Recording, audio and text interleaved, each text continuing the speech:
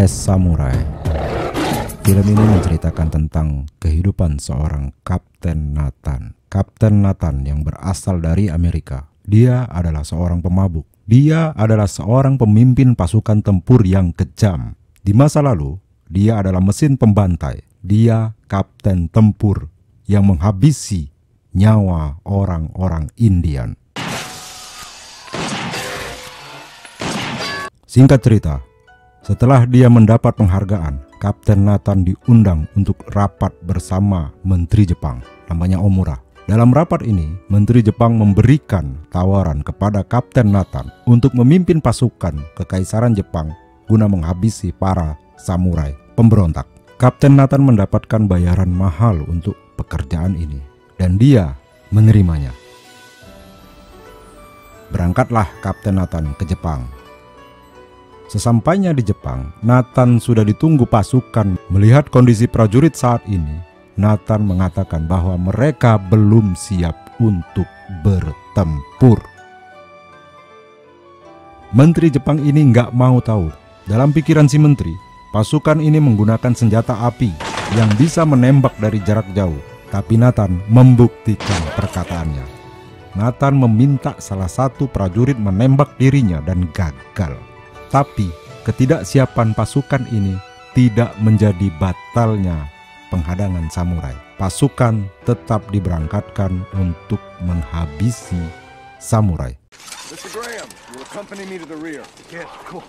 Dalam suasana senyap, samurai muncul dari berbagai penjuru.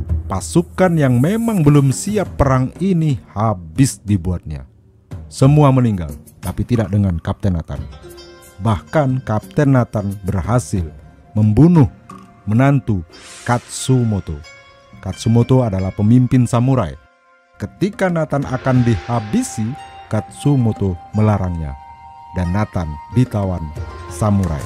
Dalam tahanan, Nathan mendapatkan pelayanan yang baik. Dia dirawat oleh anak perempuan Katsumoto yang suaminya dibunuh Kapten Nathan.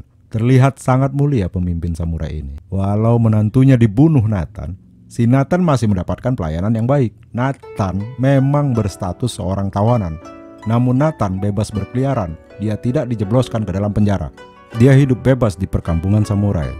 Semua penduduk tetap menghormati Nathan. Kondisi ini yang membuat Nathan berubah, sehingga Nathan berbalik menjadi pendukung samurai. Nathan pun merubah kebiasaannya. Dia tidak lagi mabuk, dia juga merubah penampilannya. Bahkan Nathan juga berlatih pedang. Pada malam perayaan terjadilah serangan dari para ninja utusan kaisar Jepang. Sebenarnya bukan utusan kaisar Jepang ya, mungkin dari si Omura ini. Nathan berhasil melindungi anak Katsumoto dan membantu Katsumoto menghabisi ninja-ninja tersebut. Dari sini bisa dilihat bahwa Nathan benar-benar sudah menjadi bagian dari samurai. Dan dari kejadian ini pula Nathan sadar bahwa Katsumoto adalah seorang yang mulia. Dia bukan pemberontak seperti yang digaungkan.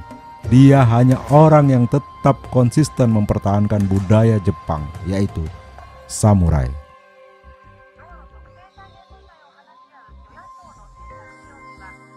Musim semi tiba.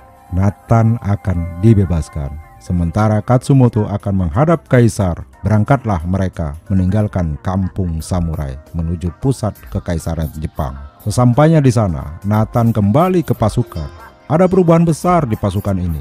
Senjatanya sudah canggih dan sudah banyak.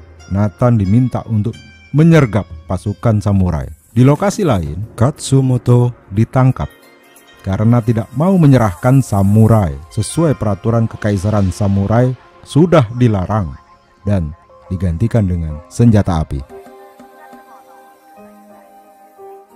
Di pusat keramaian, Nathan melihat anak Katsumoto juga menjadi bulan-bulanan tentara Jepang.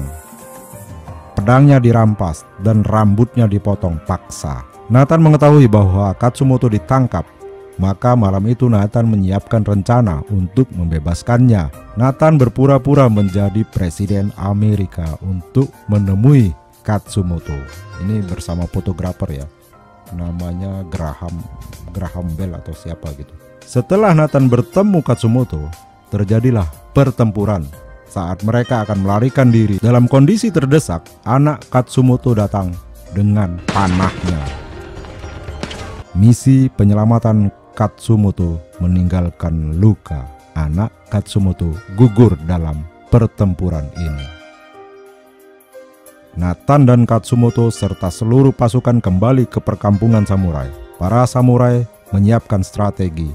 Mereka sadar, sudah pasti pasukan bersenjata kekaisaran Jepang akan datang untuk menghabisi keberadaan mereka. Mereka akan bertahan dan mempertahankan warisan nenek moyang, budaya turun-temurun. Nathan juga akan ikut mempertahankan sesuatu yang baru dan sudah mulai dicintai. Bukan hanya budaya ini yang sudah dicintai Nathan, dia juga sudah mulai saling jatuh cinta antara Nathan dan anak perempuan Katsumoto yang suaminya dibunuh Nathan.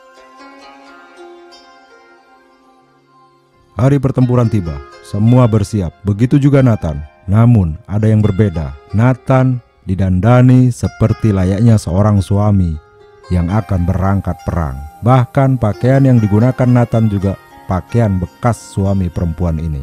Pasukan samurai sudah siap. Ini pertempuran hidup dan mati demi harga diri serta budaya, berangkatlah pasukan samurai ke medan tempur.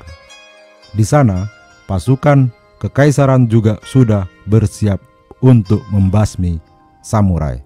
Seperti biasanya, pada perang zaman dulu, pasti di lapangan tempur para pemimpin akan saling bertemu, membicarakan kesepakatan sebelum perang itu dimulai.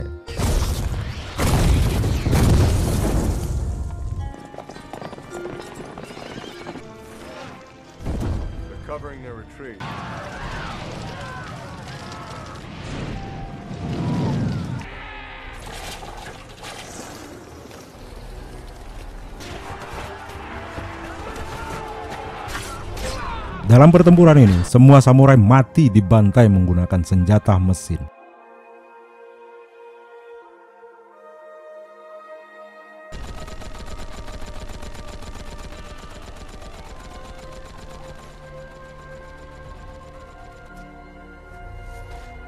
Hanya Nathan dan Katsumoto yang masih hidup. Namun, pasukan kaisar berhenti menembak. Pesan terakhir Katsumoto kau kembali menemukan kehormatanmu.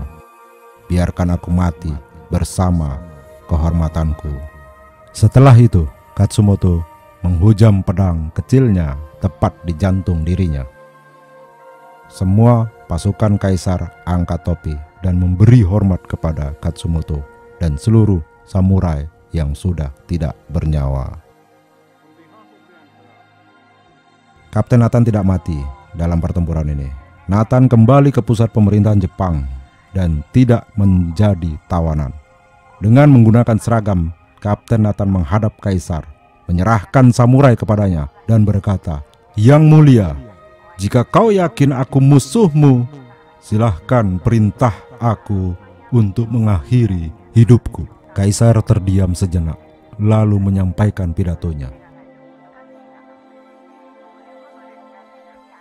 Aku mengidamkan Jepang yang bersatu, menjadi negara kuat dan mandiri serta modern.